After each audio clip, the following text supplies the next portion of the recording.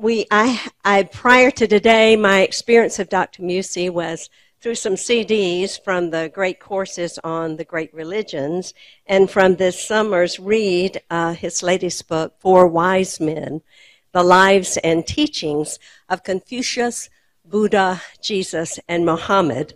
So I'm excited to, to get it a little bit further, but just to tell you a few more things about him. He was born in Waco, Texas, uh, went undergraduate work at Baylor University, big Southern Baptist University in Texas. He graduated summa cum laude and then went on to pursue various, uh, several graduate degrees from Harvard, teaching in the divinity school there.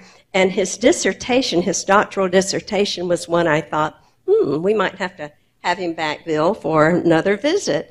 It sounded really interesting. It was on the relationship between liberalism and fundamentalism. And I thought, maybe we can get him to talk a little bit more about that. Um, pursuing his interest and fascination and, and commitment, I guess that's the word to use toward Buddhism, and this mindful journey from Waco, Texas, and Southern Baptist College. He went, um, he was in India and Thailand and Nepal and Sri Lanka, um, learning and experiencing many, many things. He currently is um, uh, professor emeritus of religion at Rhodes College. Rhodes is in Memphis, Tennessee. It has an excellent reputation in academics and is known as having the most beautiful campus in all the United States. So that's where uh, he has been hanging his hat. His wife um, also is on faculty there. She is a chemist from Sri Lanka and they have a 13 year old daughter. Now, to get to the real information, this is what some of his students said. He assigns pointless readings about weird belief systems. No way. Did you flunk that one? makes lots of good Simpson jokes. That's good. And one intends to start a cult to mer- Muesse worship upon graduation. I think we're in for a really, really, really grand day. Beginning this morning with a, a bit of an introduction to Siddhartha Gautama, the Buddha, and uh, some of his beliefs as we continue to pursue our understanding of various faiths as we seek to grow our own faith. Thank you. Thank Will you. you join me in welcoming Dr. Muesse? Thank you, Linda. Thank you very much. Thank you. It's good to be here. Can you hear me fine? Is the uh, acoustics doing well? Great. I'm glad to see the uh, PowerPoint is online now. I am in a setting that I'm unaccustomed to. I'm not uh, accustomed to standing uh, 10 feet above my audience uh, or having such a large audience to talk to. I'm much more accustomed to meeting undergraduates in classes of about 15 to 18. So this is a new experience for me, and I'm delighted to be here. I have been shown the greatest hospitality, and I have such admiration for the mountaintop lectures and what has been done with this program. And I told Bill Sailing last night that I'd like to franchise this and maybe take take it to Memphis uh, and maybe other places in the world because I think it's just exactly what we need at this moment in our history.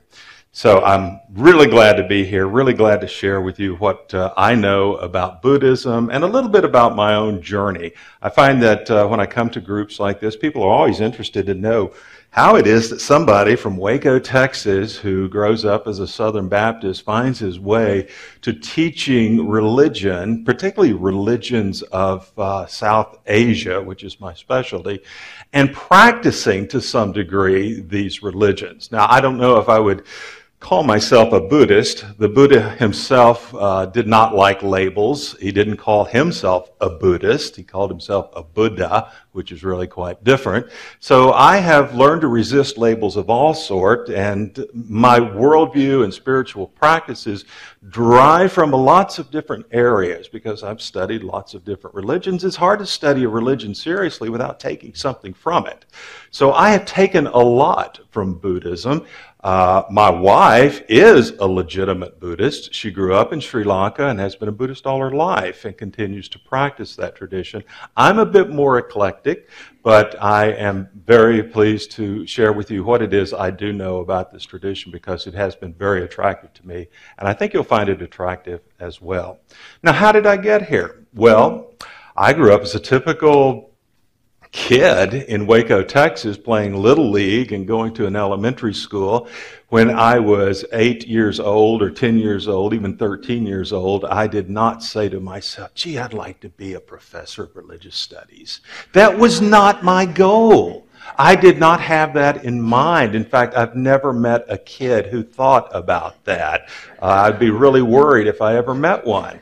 Uh, being a religious studies professor is not uh, a, lot of folks' ambition. It wasn't even my ambition when I went to college. I was going to be a doctor. My parents wanted me to be a doctor.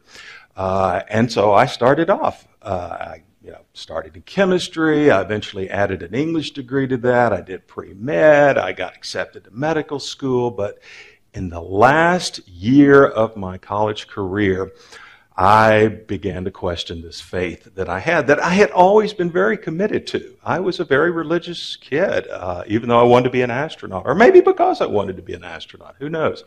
Uh, but I was always devout, always loved going to churches, always fascinated with Jesus, though he always perplexed me in a lot of different ways. I had a little Bible growing up, had a picture of Jesus, you know, knocking at the door, and you know that picture, and uh, I just couldn't figure this guy out because everybody was telling me I need to be like him. But he didn't look like a guy to me. He, he had this long hair and a beard. He looked like a woman, uh, you know, wearing a long dress and, and, and a beard. And, and yet I was told that I should model my life after him, which was fine. And I tried to do that. And then one day I just realized, wait a second, this guy's got an unfair advantage because he's God. And who am I? I'm just a kid from Waco, Texas. I can't do what he does. So I, I struggled with Jesus from a very early age and was very interested in matters of religion. Uh, when I was in late middle school, I guess about the age of my daughter now, 13, 14, 15, I got introduced to Eastern religions. And uh, I didn't know anything about them, but they became very attractive to me because I was at least aware of the fact that Waco was a very provincial place. And so I was always interested in the odd, the strange, the exotic. And so I spent a good bit of time reading a lot of this material, the Bhagavad Gita, the Upanishads, Buddhism. So I started pretty young reading this, though I never thought that this would be something that was for me. It was always something that people in other parts of the world did, and it was interesting for that reason. As I went on through high school, I got much more conservative, more evangelical, really more fundamentalist. Uh, went to Baylor, uh, which supported that fundamentalism uh, for a while. But then I began taking religious studies classes and taking a critical approach to the Bible, as you find in uh, almost every college and university across the country, ultimately caused my faith to crumble. And so by the time I was a senior and ready to go to medical school, I just found my faith, my theology, my spirituality in shambles. I didn't know what to do. I was really lost, and I felt like I couldn't go on to medical school because these were important questions that I needed to have answered. So I decided to go and study a little theology, thinking that was going to solve my problem. It doesn't. just makes it worse. I found out that Harvard had a nice two year program. I could go up there. I knew some of the teachers by reputation. I thought, well, this is about as far away from Waco, Texas as I could get. And so I went there, and after two years, I think I was more messed up than when I started. Uh, and then not knowing what to do, I just decided to continue on. I got uh, an opportunity to continue on in the PhD program. I did. By this time, my Christian faith, such as it was, was, was hard really for me to sustain. And at Harvard, there are lots of different religions that are being studied. And so there's a Center for the World religions, and I actually got into that and started studying, re- really returning to my study of Buddhism and Hinduism and Islam and so forth, and got very interested in it. And before I knew it, I had a PhD in the study of religion. then I said, well, now what? I mean, there's, there's not much you can do uh, except either be a minister uh, or be a teacher of religious studies. So I knew I wasn't wanting to be a minister, even though, as I was telling Linda earlier and some of my hosts, I did get ordained as a Southern Baptist minister. Just don't, I, I don't like to spread that around too much, but it's, I am, and and and but but um, I don't practice that too much, uh, let's say. But you know, it's kind of hard even to get rid of it. I, I, still have a great affection for the Southern Baptist, uh, even though I don't agree much with the theology that it espouses.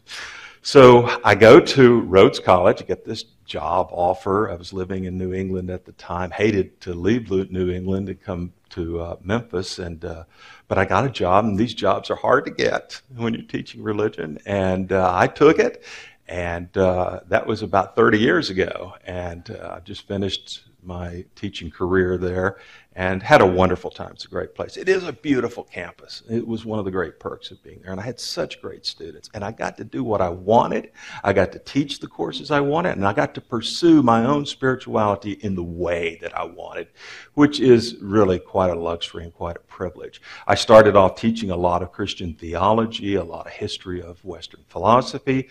But because I've been trained in the Eastern traditions as well, uh, I was called upon more and more to do Asian religion and philosophy. So I started doing that, and that's basically what I've done exclusively since then. But I came across a great insight uh, somewhere along the way, which was that I was studying the wrong thing. And I didn't know this at the time. When I went to divinity school, I thought I wanted to be a theologian. I thought I wanted to learn about belief and doctrine and all the kinds of creeds that the church has created. But that's not what I really wanted. What I really wanted was spirituality and not theology. And it took me a long time to figure this out. But once I did, I was able then to begin to pursue my study of spirituality in a way that had not been taught to me in graduate school. Uh, the folks in graduate school and most seminaries that I'm aware of don't teach much in the way of spirituality as such. And by spirituality, I mean something very specific. I mean discipline. I mean practice. I mean the way we relate to ourselves, to the world, to nature, to other people. I think of spirituality as the realm of relationship. And that's how I understood it. And coming to that awareness was really important to me because the belief system that I had grown up under had just begun to make no sense to me. Even if I tried to believe some of the things that I had been told, I couldn't make myself believe it.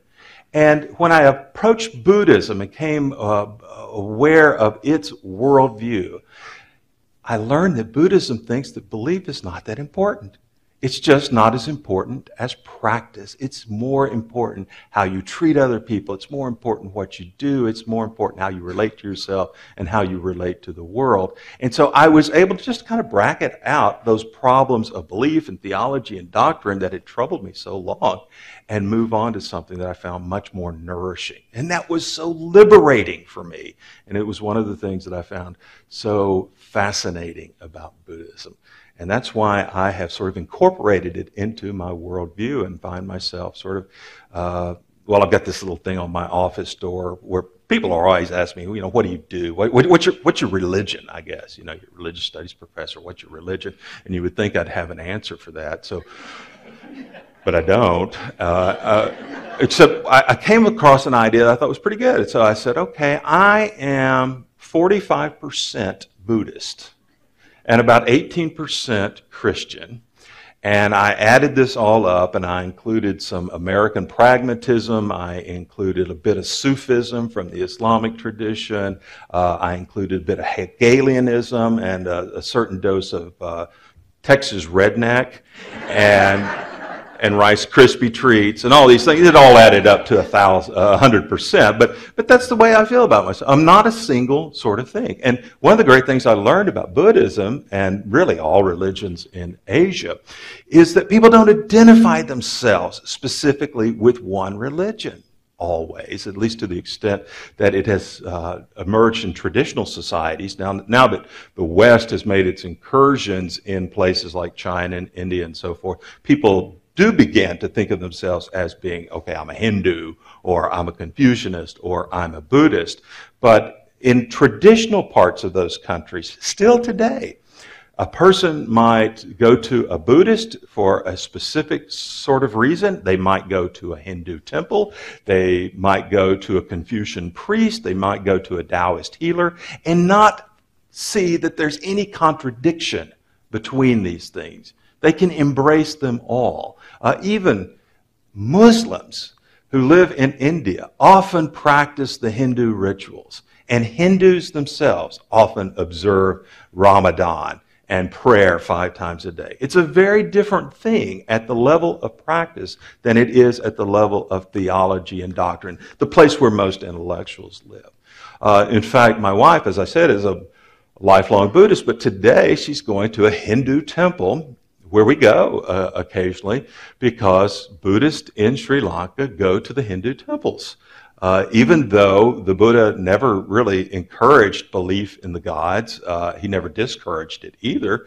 But most Buddhists in the world, even though Buddhism is not a theistic religion, they still will go to uh, a theistic temple just to um, ask the gods for things that they need my daughter is ha- happening to, happening to um, give a dance performance today at the Hindu temple. She studies Indian classical dance, and so that's part of why they're going there. But we go to this temple quite often, and uh, we also go to Christian churches whenever we want, or whenever we find ourselves in a Muslim country going to a mosque.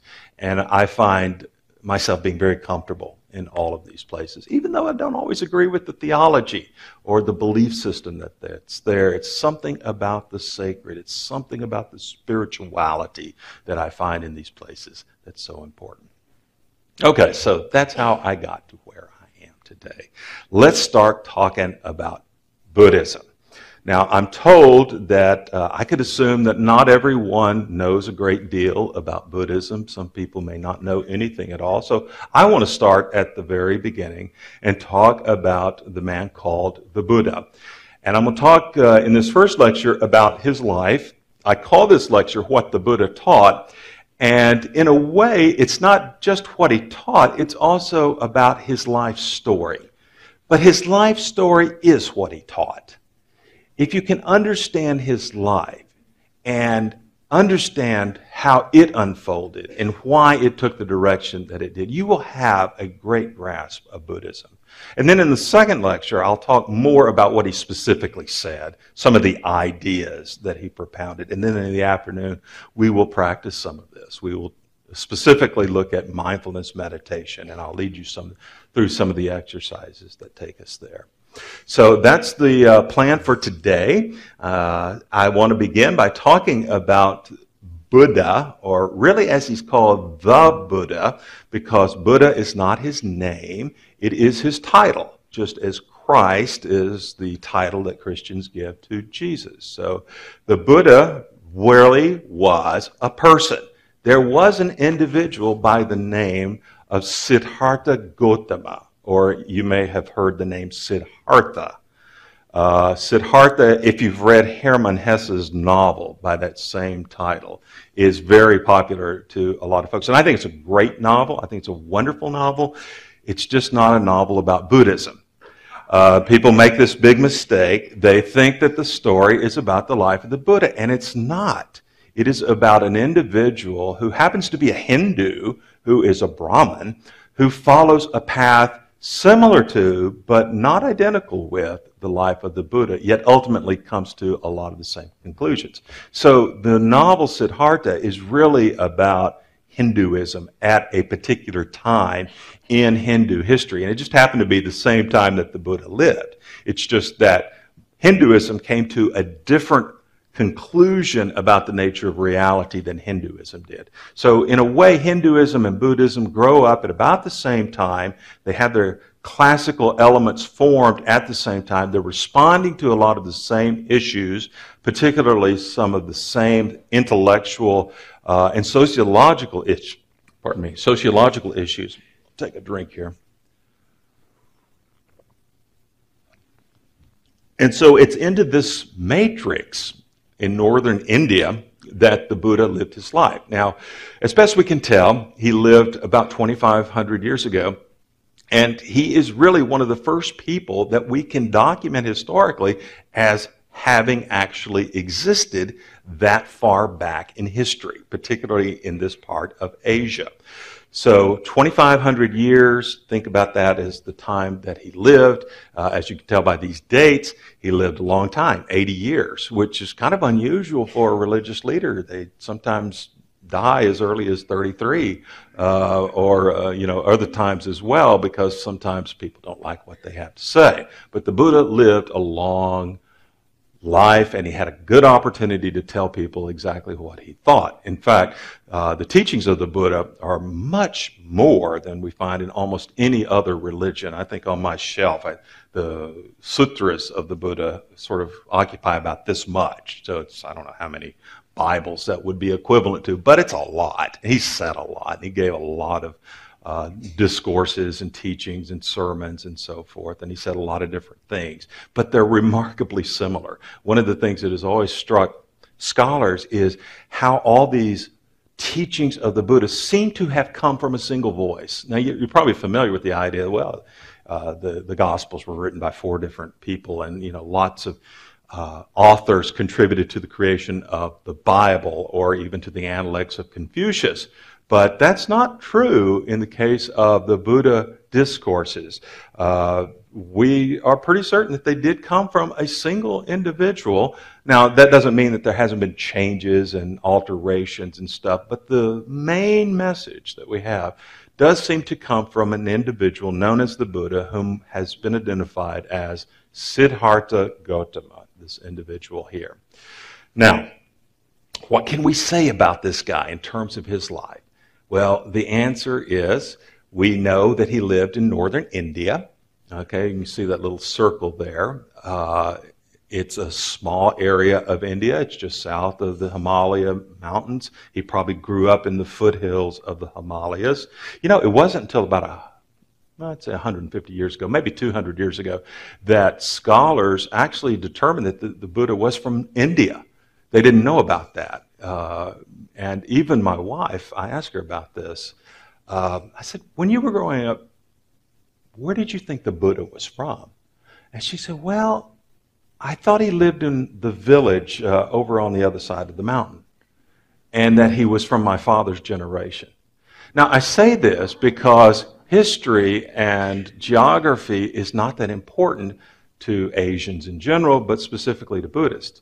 You could probably have Buddhism without the Buddha as long as you had the story of the Buddha or his teachings. Okay, so the historicity of the Buddha just isn't that important. It's a, it's a thing that occupies Western scholars. You know, we're interested in the historical Jesus, for instance. We spend a lot of time with that. But people don't go on quest of the historical Buddha. Uh, just not a, an interesting thing. But what is interesting, of course, is his teaching.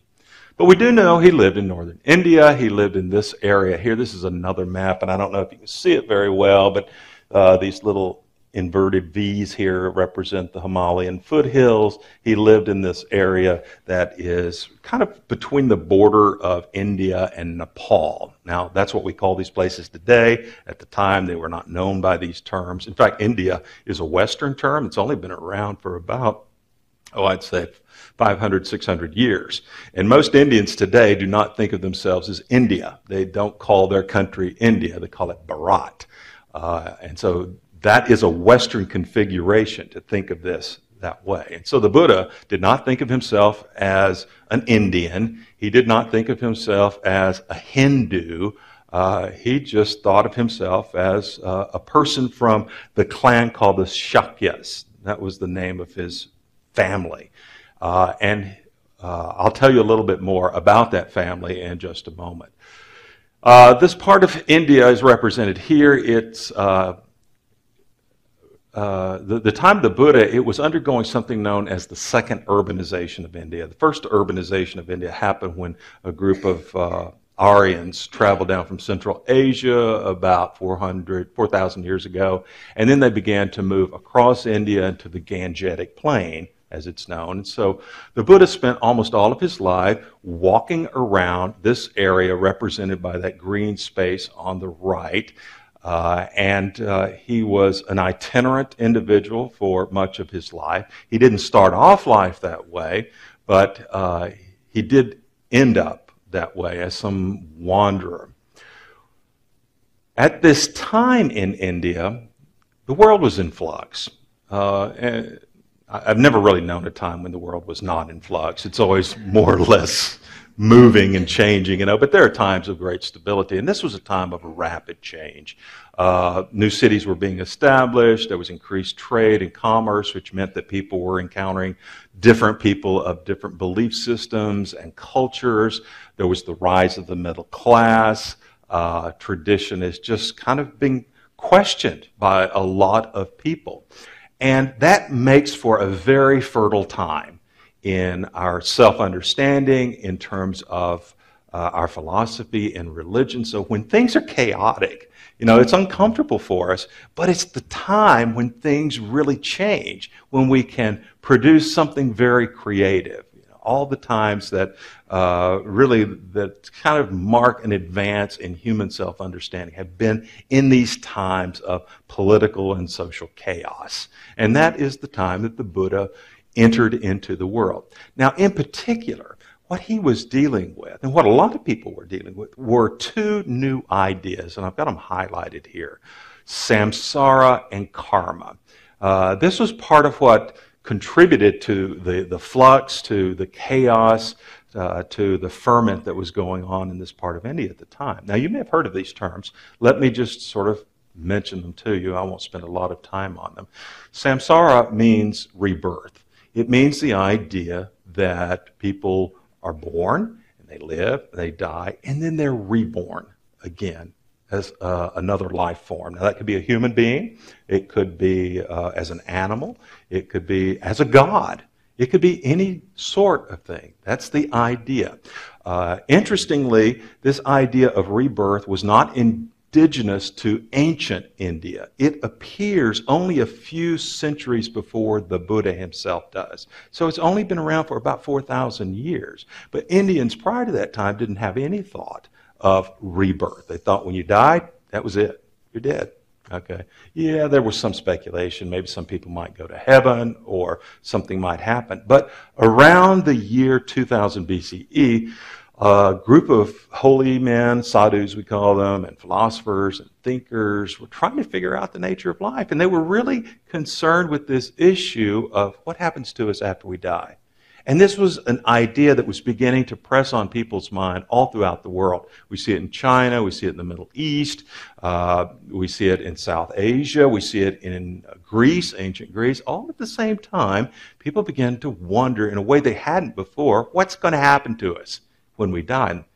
And since no one really knew, there was a lot of speculation going on. And in India, a group of holy men and philosophers said, We think what's going to happen is that we come back to life. And they thought it was just kind of a, uh, a self evident truth. Because when you think about it, you know, our bodies uh, dissolve, but they don't just sort of go away. They're not destroyed. They get integrated into the earth and they come back as plants, and uh, the plants are eaten. So, in a way, they saw the cyclical nature of human existence and they posited that as being the situation for all of us. We're all being reborn. Now, that's an idea that emerged in, in ancient Greece at just about the same time. If you go read Socrates, he talks about the same idea Uh, and you'll find it in various places in the world, not, not, a, not a lot. It was most prominent in India and in ancient Greece, but it was only in India that it caught on.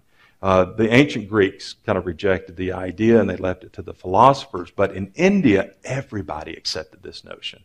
And still today, all of the indigenous religions of India accept this notion of rebirth. That's Hinduism, Buddhism, Jainism, and Sikhism. They all believe we die and we come back to life. So you're familiar with this notion. What Hindus and the ancient Indian context added to this was the idea of karma. The idea of karma is the notion that anything that we do has repercussions that come back to us. Okay, so if I commit an act that is evil, that evil will return to me somehow and affect my life. Uh, and it may not happen right away. It may be a several years that it occurs. It may be another lifetime in which it occurs, or several lifetimes. But anything that I've done in the past is going to have an effect. I can't escape the consequences of my actions. And by the same token, when I do something good, that too is going to come back to me. So anything that I do, even if it's not seen by anyone at this moment, is going to be rewarded, I guess we could say. It's going to come back, it's going to make my life better. And so this makes for a very coherent worldview when you add it to the notion of rebirth. All right? Your rebirth is based upon how you acted in a past life. You are where you are today because of who you were and what you did and what you said. And that is who you are. It also means that you have a chance now to affect your future. It does give you a certain amount of freedom. So you can do things to affect your rebirth or even to affect this life. And so to do good which of course is encouraged in these traditions, means that your life will become better. All right, it's very simple. it makes a lot of sense. And so it is into that context that the Buddha is born. However, I mean, this may sound really great and may sound coherent, and it's kind of a beautiful justice system. You know, everybody gets what they deserve. But it was a problem even from the very beginning. Uh, the Hindus and the Buddhists along with them did not see rebirth as a desirable thing. Okay, this is the hard thing I think for Westerners to get a grasp on. You know, I talk to my students. I say, "Well, you know, this is what it's like, and this is a, a problem in Hindu and Buddhist theology." And they say, "Why is it a problem? I'd love to come back."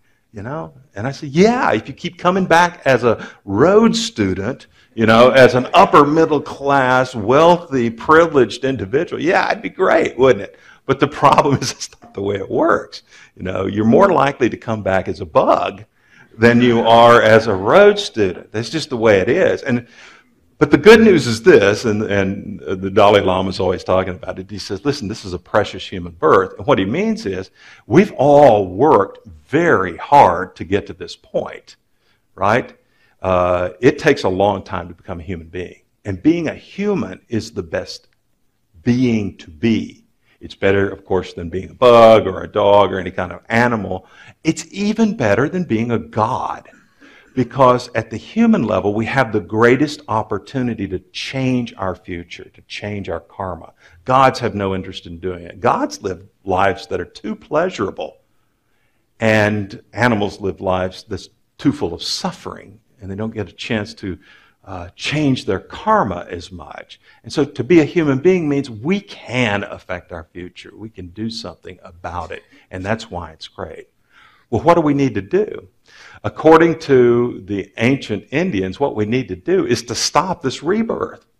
It's unfortunate. It is undesirable. It is not a situation that we want. Uh, it is uh, an endless cycle of suffering. Now, you know, we can think about, oh, it'd be nice to come back, but think about doing this all the time. Think about every life you'd have to live. As I tell my students, I said, imagine what it would be like to keep having to go through middle school over and over again. That's what samsara is, you know. So that was the problem. And people all over began to wonder, what do we do about this? How are we going to fix this problem? And so this spawned this great creative philosophical and religious movement of trying to find a way to end samsara. And a whole movement of people, I'm talking about not just scores, I mean thousands of people, men and women, people of all castes and classes, left their homes, quit their jobs, and went off into the forest to become monks and nuns and hermits, trying to figure out the answer to this question. In fact, it got to be a real problem uh, because there was no one left to do the work and to raise the families. And so the, the Hindus actually had to institute a, a kind of uh, stage of life system which told people that at the earliest stage of, of life, they have to be householders. Well, they have to be students first, then they get married and become householders, and they have to raise a family, and they have to contribute to the good of society. And then, when they become old, then they can go off to the forest and figure out the meaning of life and all these other kinds of things. So, you know, by the time you're retired, uh, you're pretty useless to society, and why not let you deal with your religious issues in that way? That was the idea. So, and it was, you know, they didn't need Social Security because what you did was you just renounced everything. You became a wanderer, uh, a sannyasin, they call them. So you, and, and, you still see them today in India. They're all over the place. They wear these orange robes, and, and they're just men and women who wander without a home, without a name, without connection. They have renounced everything, and what they're trying to do is to seek their connection to the divine or their liberation from samsara. And that's what this whole movement was all about. Well, needless to say, lots of different ideas were proposed about how you do this, and uh, many uh, teachings have come down to us that, that give us answers to it. And the Buddha happened to be one of these individuals who came across an answer, he thought, to ending samsara, to ending the suffering that we have in life. It wasn't the only answer, it was one of many, uh, but it was an answer that many people found very attractive. Okay, so let's get back to the Buddha. This was his context. He's uh, an individual who lives uh, during this time of great spiritual upheaval. And so we want to know what we can say about this individual from a historical standpoint. And as I said, this is not something that most Buddhists would be terribly interested in, but uh, Western scholars are. And so I'm going to present to you what it is we can say about the Buddha from a historical perspective. And I'm using this image right here. Does anybody recognize it? What is it? Who said they understood it? Yes, uh, Bamiyan uh, in Afghanistan, there was a huge image of the Buddha that was there that was destroyed by the Taliban about 10 years ago. They got dynamite and blew it up because they were radical Islamists and they thought this was an idol. And so the best thing they thought to do was to blow it up. I mean, it was a terrible thing, great outrage, you know, uh, across the world about this sort of thing.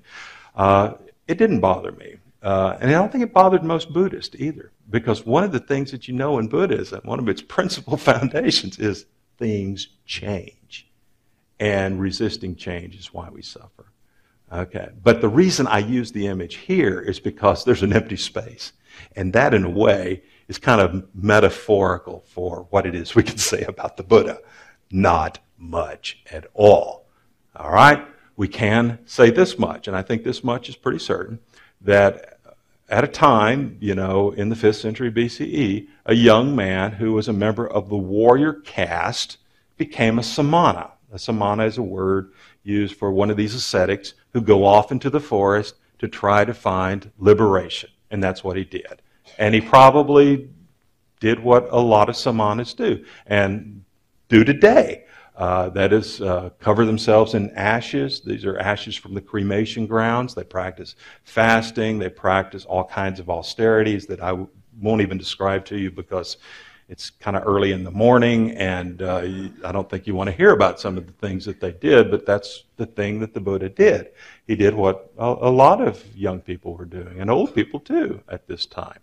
So He may have looked just like this or something like it. Uh, this is a picture I think I took uh, about two years ago of an individual living in the same area where the Buddha lived uh, 2,500 years ago.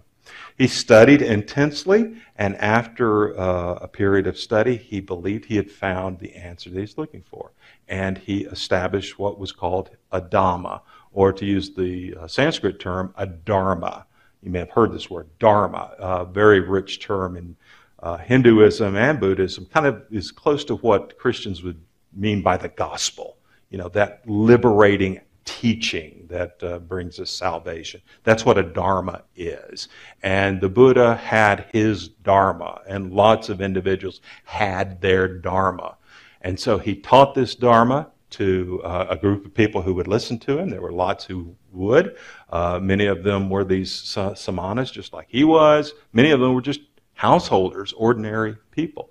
And he gathered a following. He started a community called the Sangha, which would be comparable to a church in Christianity, but, but a lot less organized. Uh, it's very localized.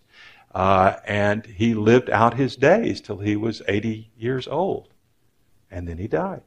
And that's about all we can say with historical certainty about the life of the Buddha. Now, that's not a lot to build a religion on. Okay? And so Buddhists coming in the wake of the Buddha long after he had died began to augment the story, as people do. Uh, whenever there's a charismatic individual, they begin to sort of fill in the gaps and make the story more interesting and make the story more dramatic. And it's actually that story that I find most interesting because it's that story of what I call the Buddha of myth that really embodies for us what he taught. So it was as if the Buddha was living out his own teaching in this way, which is something I believe uh, it's part of my philosophy of education that really what I teach my students is something they're going to forget. But what they're going to remember is who I am. And apparently, somebody remembers me as uh, assigning weird readings with uh, pointless ideas to them. So, uh, not exactly what I wanted them to remember, but but that's what they remember apparently. So you know, you, people go to college, they probably forget 90% of what it was that they, they learned, but uh, they do remember the teacher, and that's what uh, the followers of the Buddha remembered. He impressed them with his person a great deal, and they created the story uh, about his life that is much richer than the one I just told you. And in calling it a myth, I don't mean to say it's wrong or it's false. I'm just saying it's not historically verifiable. We don't know if it's true or not, but it's certainly much more interesting. Now, I have an image here of the Buddha. Uh, I want to make sure you recognize that person as the Buddha and that you're not under the impression that this guy is the Buddha because a lot of Westerners think this is the Buddha. This is not the Buddha. This is a Chinese folk god who has the unfortunate name of Budai, or in Japanese, Hotei and he's been incorporated into the Buddhist and Confucian system and Chinese folk religion and so forth. But a lot of people have this idea that the Buddha's some fat, jolly guy.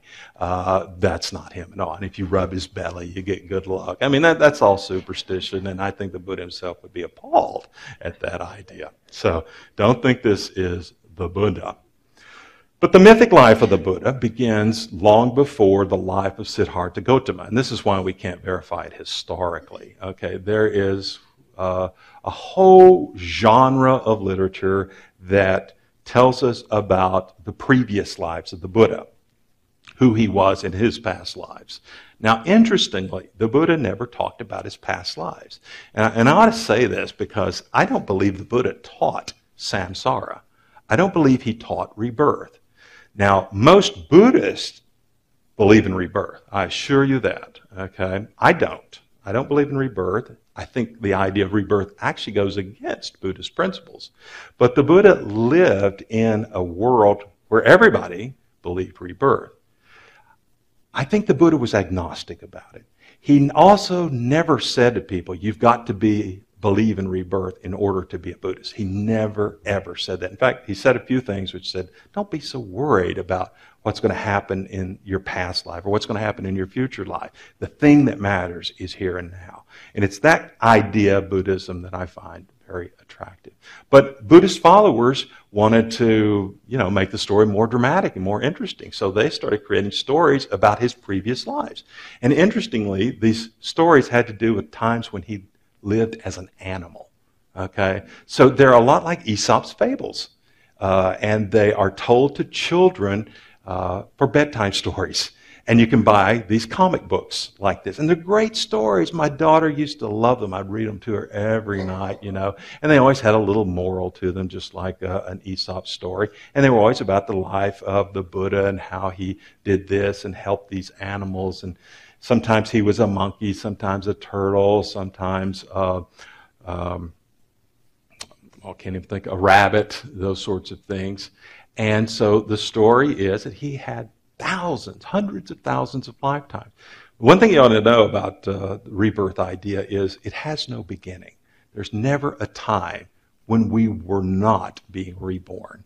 This is something that boggles people's mind. The same thing is true about the universe. The universe has always existed, according to Hinduism.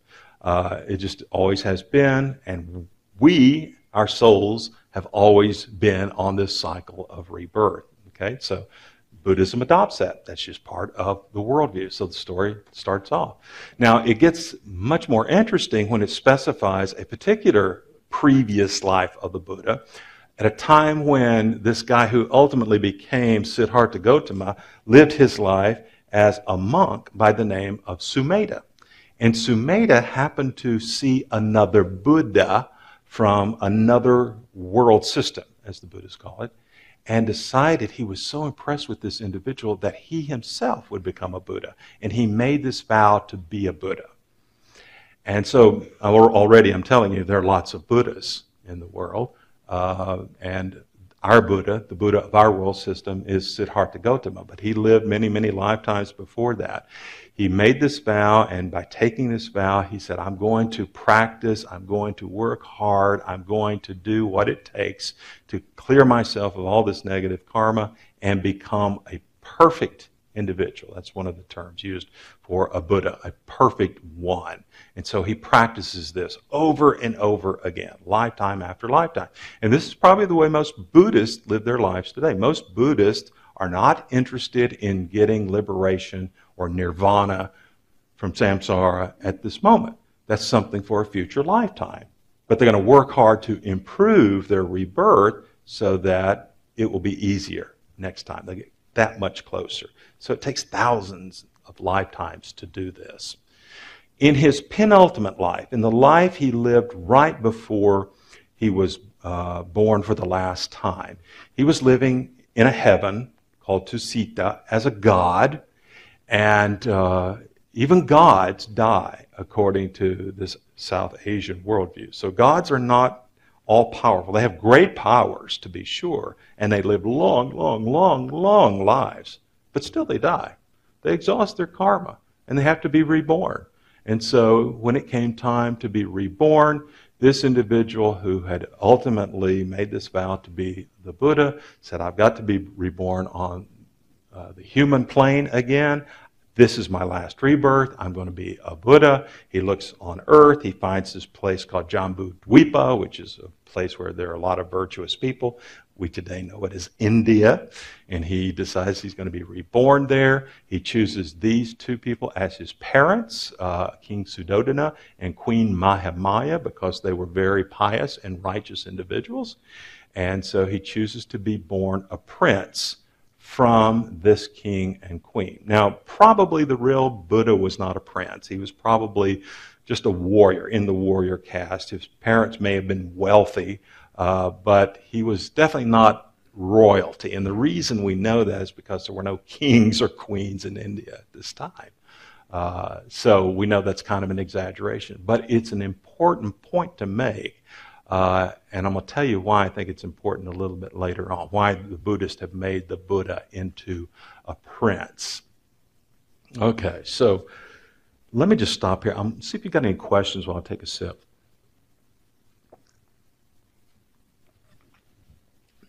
Okay. I want to say something that's kind of interesting about about samsara. You know, the, the Dalai Lama and uh, Buddhists in the Tibetan tradition, once they have attained a certain kind of state of enlightenment, can choose their rebirth. Uh, you may not know this about the Dalai Lama, but he is a realized individual. He is a, considered like a living Buddha. And yet he keeps coming back to life. Our current Dalai Lama has been reborn 14 different times uh, in this particular world system. And he can choose how he comes back. And the current Dalai Lama has told a lot of people that he is not going to be reborn uh, after he dies. Of course, he's approaching death. And uh, to make sure that doesn't happen, the Chinese government just passed a law this year saying that no Buddhist monk can reincarnate without the permission of the Chinese government. and the reason for that is because China and Tibet have been uh, kind of at loggerheads for centuries, and the Chinese do not like having the Buddha, I'm sorry, the Dalai Lama, kind of representing the Chinese people, being an alternative uh, head of state, really, which is what he is, and they don't want to do that. And there, there are actually lamas now whom the Tibetan Buddhists have said, this is our lama, and the Chinese government says, no, you're wrong, this is the lama. Uh, so there's a lot of intrigue and political discussion going on about that. So I think the Chinese have gotten a good solution to the problem here. You know, you just got to make sure you get their permission uh, to do this. So, and, but, but any rate, uh, the, the Buddha uh, you know, in his penultimate life as a deva, was able to choose his parents and the place of his rebirth, and he chose these two individuals. Uh, there's a story about how he was conceived, which is a very interesting one uh, because of its parallels with the, the story of uh, the virgin birth. So his mother, Mahamaya, was having a dream, and she dreamed of a white elephant god and uh, that God entered her side, and at that moment, she conceived. Now, there is no indication here that this was a virgin birth. They're not saying that. Uh, but they are saying that this was a divinely intended kind of birth. So that there was the intention of the heavenly realm that was behind this. Not that this was some kind of uh, birth that was affected without, uh, you know, the how should I put it, the agency of a male uh, partner. Uh, compare that, of course, to the conception of Jesus, uh, where the Virgin Mary uh, is visited by an angel and uh, who announces her birth, and yet the birth is uh, one that is divinely conceived. And I think it's kind of interesting to sort of look at these two pictures together, and you see sort of the structural parallels between them. you know, both involve white animals coming down and uh, a, a, conception taking place and uh, individuals, uh, in particular women, who are kind of on the sides watching all of this happen. So uh, it's, a, it's a similarity uh, between the two. There's apparently no relationship between them historically. It's just kind of one of those interesting coincidences that we have. His mom was uh, pregnant for 10, year, 10 months. Boy, that would have been terrible, wouldn't it? 10 months and uh, she was uh, deciding to go and visit her parents uh, in another town. And she was on her way there, and she felt uh, that it was time to deliver the child. And she said, I want to rest in this garden in a place called Lumbini. And she went there and she reached up to a branch in the tree, and immediately the Buddha left her side. This is how he emerged from her body. And he came into the world, according to the text, in full awareness. And he took seven steps, represented by these seven lotuses under his feet, and said, I have come to the world for the good of humanity. This will be my last rebirth. So, full consciousness, speaking, um, all of those sorts of things. Kind of a miraculous birth obviously. Uh, and in some ways, you know, there's stories uh, in the Gnostic Gospels about Jesus doing the same thing, you know, speaking in the manger and, and, things like that, or even having a full consciousness. But this is the story. Uh, Mahamaya experienced no pain whatsoever. She was just there. She gave birth, and you see she's kind of smiling after it's over. Uh, and all around are the gods These are the gods that you see up in the blue sky. Uh, they are the Hindu gods, but the Buddhists don't think of them as Hindu gods. They just think of them as the gods. And uh, they are kind of anointing this or, or, showing their approval of this event by sprinkling uh, flowers all over the place. So this was the birth of the Buddha. It was a miraculous birth.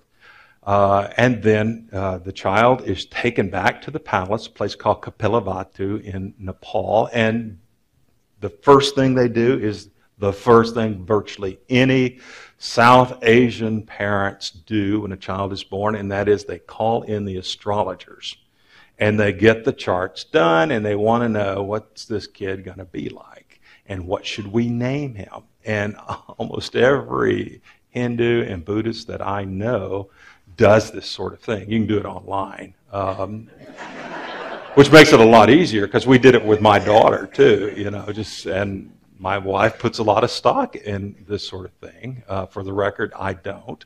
Uh, but uh, she thought this was, you know, the thing to do. You know, what's this person going to be like? What should we name her and everything? And so that's exactly what uh, and uh, Mahamaya did. They called in Asita, who was the best astrologer in the realm.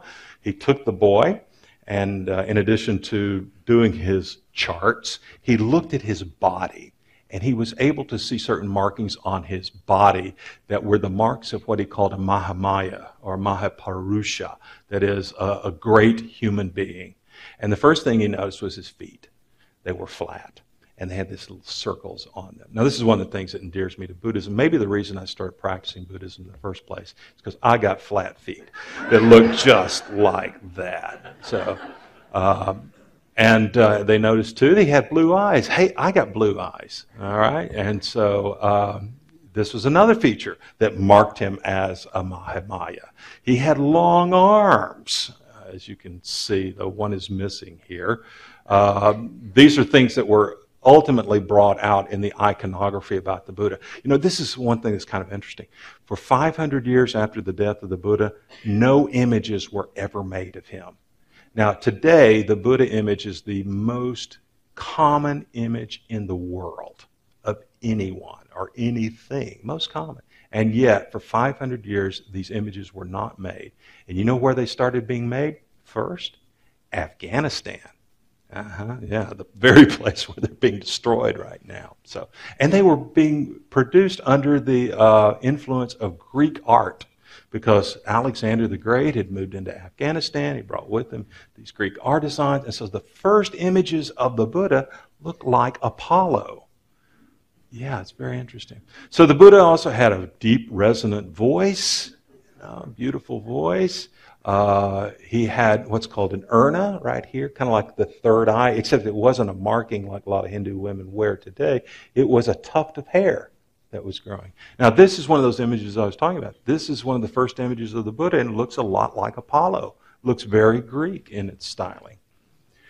He had a golden body, uh, and he had long earlobes. Okay, and these are some of the things that you can use to distinguish uh, a Buddha image. So uh, there are a lot of images of people that look a lot like the Buddha, but you can tell if it's a Buddha if they have this certain kind of hairdo, this kind of thing on the top of the head, long earlobes, the urna, various things. Not all Buddha images have all of these things, but they have many of them. And based upon these things that Asita saw, he predicted that this boy, this prince, would be either a great ruler, a, a great emperor, or he would become a great sage, a person who would help people in their spiritual lives. And that was the prediction. He didn't know which one it was.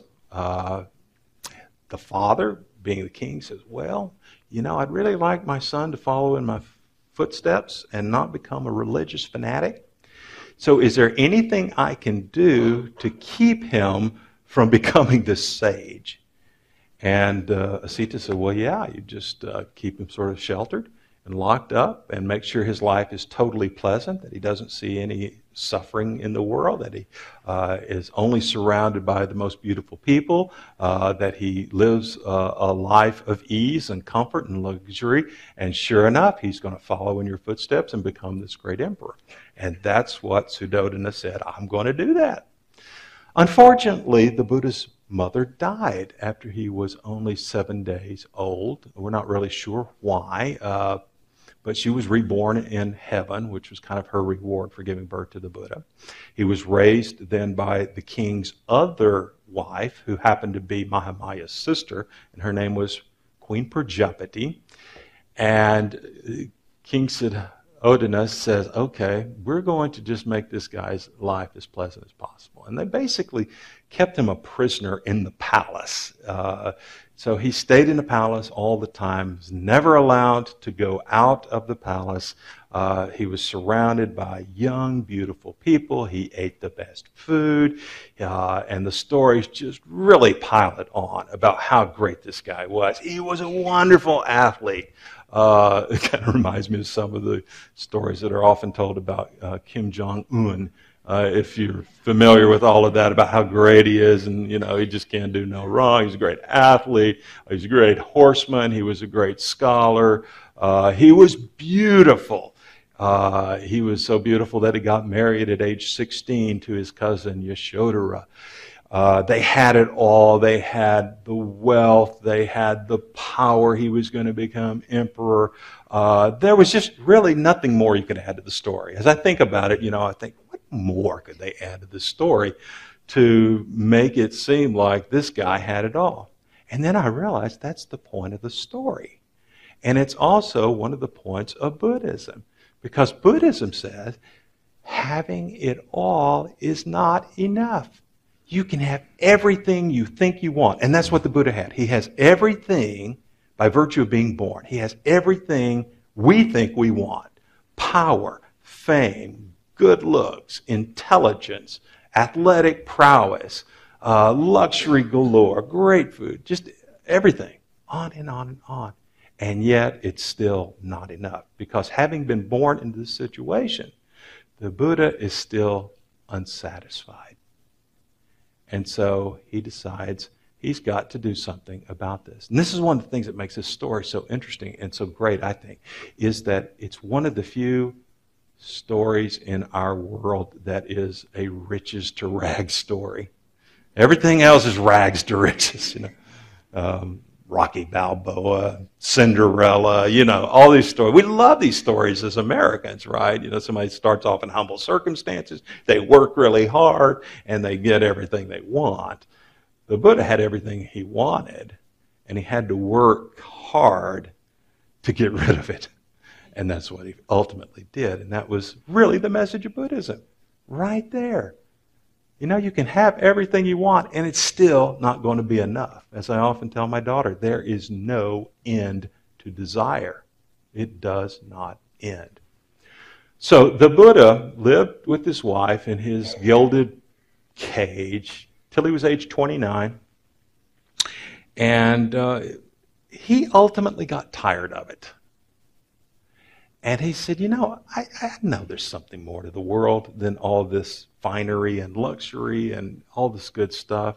And so he conspired with a friend of his to go out and see the world as it really was. And they had to kind of sneak around to do this because his father kind of kept him trapped, imprisoned, wouldn't let him out. Uh, and so he and a friend snuck out one night or four different nights, depending on the story you read. And the Buddha saw but he's not called the Buddha at this time. He's known as Siddhartha. Siddhartha sees things he'd never seen before. And in the first picture, you can see um, what is that? Uh, looks like a, is that an old man? Yeah, an old man up there walking with a cane. And the Buddha looks at him and says, What's wrong with this guy? Why has he got gray hair? Why has he got wrinkles? Why has he bent over and using a stick? And his friend said, Well, he's old. And the Buddha, Siddhartha said, What? You, is that something that just happens to him or does it happen to other people? And he said, Well, if you live long enough, it happens to everyone. And then Siddhartha said, What? You mean it's going to happen to me? here it gets a little kind of funny, you know, uh, the, the story does. It's like, what? Really? It's going to happen to me? And he said, yes, sire, if you live along now, this is going to happen to you.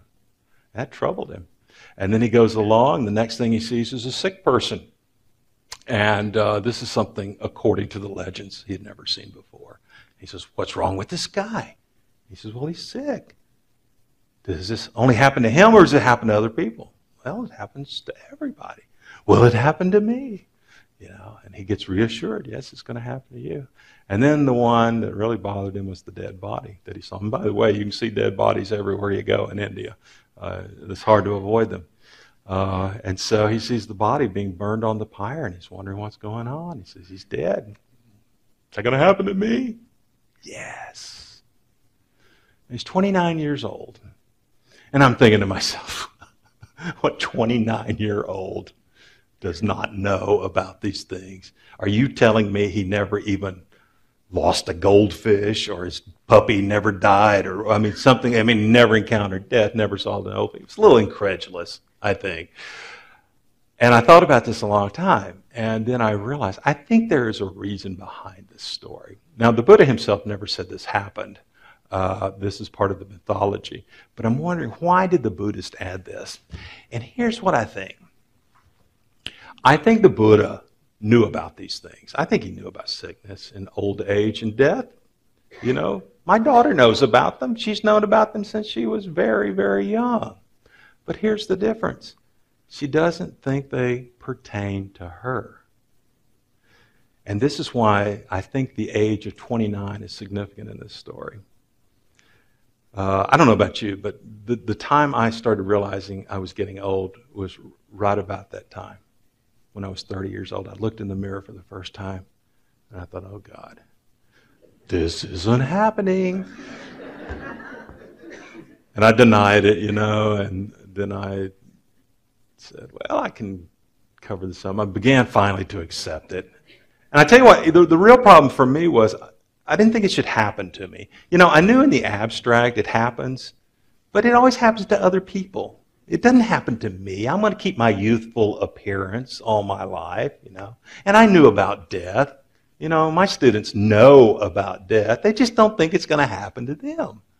Okay? At age 29, the realities begin to set in. And I think that's what happened to Siddhartha. He began to realize, yes, indeed, this pertains to me. This is my business. And that was what really set him on his spiritual quest. I think this often happens. We see it all throughout the history of religions where people began their spiritual quest with a traumatic experience. Uh, it could be the death of a loved one, a death of a parent. This often happens. Uh, today, it might be a divorce or losing a job or something like that. But it usually takes something traumatic to shake you from your dogmatic slumber, and you begin to wonder what's going on. I call this the Buddha's first awakening. We'll talk in a moment about his second awakening, which was under the, the tree. But without this first awakening, there'd be no second awakening. He had to come to realize these are the facts of life. The fourth thing he saw was a samana. That's, again, one of these ascetics who's wandering out in northern India trying to figure out what the meaning of life is and how to end samsara. And the thing that impressed him most about the samana was this guy was happy. He had a smile on his face. You can see he's dressed up there in an orange robe, which is what Buddhist monks still wear today. And he's smiling, content. And the Buddha was astounded. Wait a second. This is a world full of anguish and suffering and illness and death. And how's this guy happy? And he said, I've got to figure out what he's got. I've got to get this thing that he's got. And so he decided to leave his wife and son and the palace and his parents and all that good stuff in the middle of the night. And he left them all and said goodbye to them. Now, I think that's, that's an impressive thing. I, I would find it hard to do if I had all the stuff that the Buddha did. To sort of give it all up and to start on this kind of quest. Uh, thank God I didn't have it all, that I would have to give it all up. Uh, that would be a tough thing to do. But he did. He was that serious about what it was. And so he left in the middle of the night, took his horse, uh, and crossed a river. And by the way, this river is always a symbol of Christians ought to know this. Baptism, anytime you read about rivers in literature, especially religious literature, it means a transformation.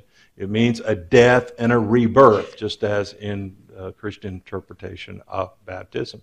So he crosses this river.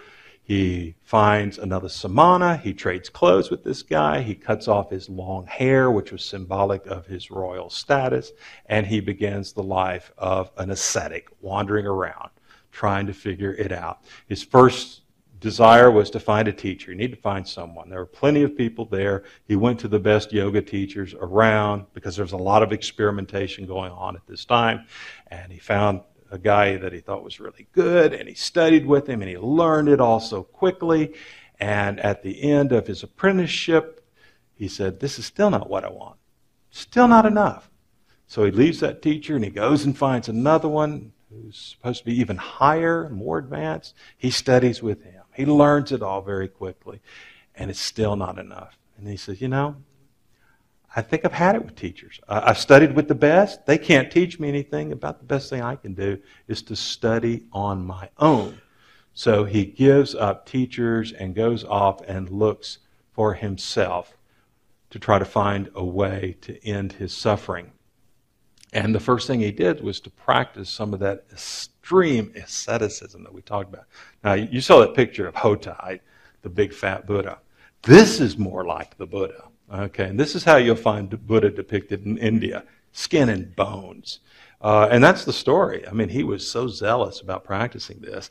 Uh, they said, in fact, he said that you could kind of grab his spine through his belly uh, and see his ribs. He looked dead. His skin had gotten dark, his eyes had sunken in. People actually thought he was dead uh, as he was sitting there. Uh, he fasted. He only took a grain of rice a day, and for moisture, he'd suck off a little uh, dew that had collected on a leaf. Here's an image of his back uh, from the same picture, so you can see the veins through it. I mean, it's to really kind of accentuate his extremism in a way. He was uh, somebody who was really going to find it. But you know what? At some point, he said to himself, You know, the reason I started this practice is because I wanted to end suffering. This is not the way to end suffering. uh, when you think about it, I'm suffering a lot more this way. I'm going to die. This is not what I want. So he began to think about it. You know, what is it that I really need? And he begins to realize, you know, I have been an extremist all my life. I've gone from this life in the palace where I had everything I could possibly want to this life as an ascetic where I had nothing at all. Now, maybe there's a happy medium somewhere. It just so happens he was sitting by a river and some musician was playing this instrument to kind of. Uh, can you hear me? Yeah. Uh, to teach his students uh, how to play this uh, stringed instrument. And he's telling them, he says, don't tighten the string too much or it'll break. And don't keep it too slack or it won't play at all. Find that medium, find that middle way. And that became uh, a metaphor for the Buddha. He said, Yeah, that must be the way. I will avoid these extremes of overindulgence on the one hand or extreme asceticism on the other. And so he began to eat. He was given food by uh, little village girl by the name of Sujata who offered him some milk rice. It restored his health. By the way, if you've got that um, program that has my picture on it, that picture was taken at the place that Buddhists believe that Sujata offered uh, this rice to the Buddha. It's a little village in northeastern India that I visited a couple of years ago. Uh, and that tree is now covered with flags. Maybe you can see the prayer flags in the background of that tree. I don't know. Um, and so he decides to take nourishment, not too much, not too little, just what he needs to sustain health. And when this happened, he had some followers, some students who said, oh, you've deviated from the path. We're going to leave. These were hardcore ascetics.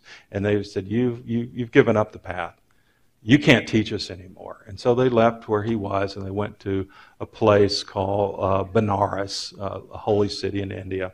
And so he was left alone, didn't have students, didn't have anyone. Uh, and he went to a town called Bodh Gaya, a place you can visit today, uh, still a very important pilgrimage site in uh, Buddhism. He found a tree called a Bodhi tree or a peepul tree. Uh, that uh, the daughter tree is still there. Uh, this is not the original tree, but a tradition says it's growing on the same place, and it was propagated from the original tree of uh, the Buddha. And a lot of Buddhists go there today. He sat under this tree. Uh, it has very distinctive leaves like this, and this image is often used uh, in Buddhist iconography here. And he sat, and he says, I am not leaving this place till I get enlightened and he begins to go through his practices of meditation. And when that happens, he begins to have all kinds of interesting experiences. Uh, one of the first things that occurs is that an individual appears to him by the name of Mara. And Mara is the Buddhist equivalent of Satan. I don't mean Satan as the god of evil, I mean Satan as the tempter. And you know the story of the temptations of Jesus, where he goes up uh, to Mount Temptation. He's up there for 40 days and nights, and Buddha, I mean, the, and the, Satan is trying to tell Jesus, you know, throw yourself down off the temple, turn this uh, rock into bread, that kind of stuff, trying to deter Jesus from his path. That's exactly what Mara did. He tried to scare the Buddha. He, he frightened him with armies. He frightened him with arrows pointing to him. Uh, his ultimate thing was to uh, create this illusion of voluptuous women who are dancing and playing music and trying to get the Buddha to sort of uh, give up his path and, and sort of follow his lust. But he was too dedicated at this point for that to happen, and Mara just disappeared. And so the Buddha continued to meditate, and through the night he came to a deeper understanding of the nature of reality. And by morning, as the uh, sun begins to rise, and, th- and, this this is all beautiful iconography. It's a lot like the resurrection of Jesus, which happens right at dawn, you know, on a Sunday morning. So this is right at dawn. He comes to the awareness that he has been awakened, and that's what the word the Buddha means. The Buddha is the awakened one.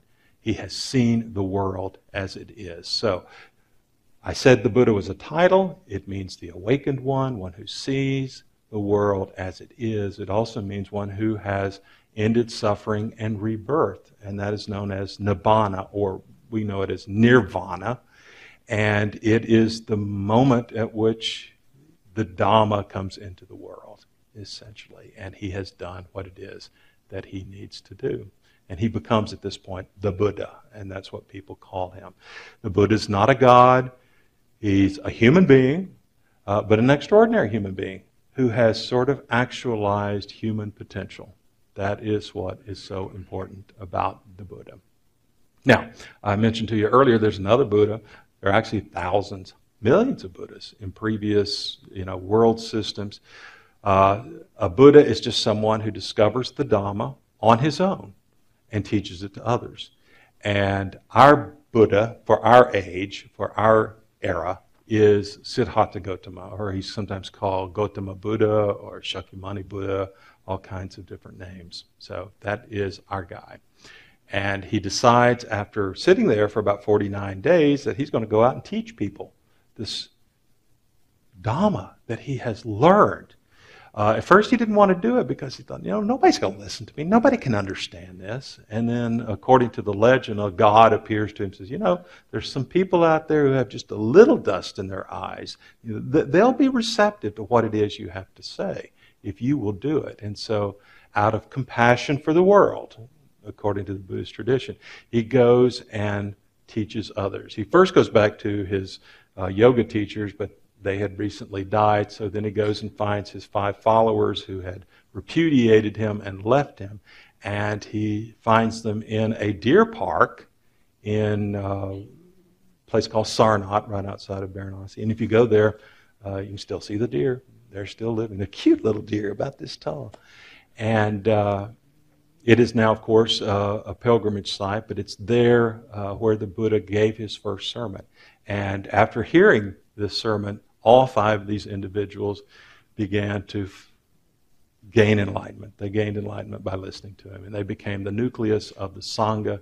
And uh, here are the places in Sarnath today that you could visit. The Sangha begins to grow, this community, because people are eager to hear it. And uh, so it is created as a consequence of it. He goes back to his home. He meets his parents, who've now gotten older. Uh, he meets his wife. They all become Buddhist monks and nuns. His mother becomes the first Buddhist nun. Uh, his wife becomes a nun. Even his son became a nun. This is his son Rahula, who had grown up a little bit. This is always an endearing picture to me because there is Rahula. See what he's doing? He's on the lap of the Buddha. Now remember, he's never met his father before. He's got his hand like this. You know what he's asking for? What did you bring me? This is what my daughter's going to say to me tonight. What did you bring me from your trip? And the Buddha says, I'm sorry, I don't have anything to give you, but I can give you the Dhamma. I can give you the most precious thing in the world. And so Rahula became a monk and followed uh, the path of the Buddha. Uh, there are all kinds of other stories after this, but I've told you the main stuff. Some of the interesting stories are the assassination attempts on the Buddha. Uh, he had a cousin named Devadatta who was so jealous of him, he tried. Uh, Devadatta was a Buddhist monk too, but uh, he didn't like the Buddha getting so popular, and so he tried to kill him. Uh, one thing he was trying to do, as you can see in this picture, is push a boulder off a cliff, you know, and the Buddha's walking around, you know, very calmly, you know, like this and everything. He knows everything that's going on. And he senses the boulder's about to come, so he stops just as it crashes up here and he looks up at Devadatta and kind of shakes his head because the worst thing in the world to do is to kill a Buddha or to attempt to kill a Buddha. They're basically the same thing. He said, Devadatta, you don't know what you've done. Uh, it didn't deter Devadatta. He tried it again. He got an elephant drunk and had to, the elephant charge at the Buddha, uh, thinking he was going to stomp him to death. The Buddha just kind of stood there, you know, very peacefully.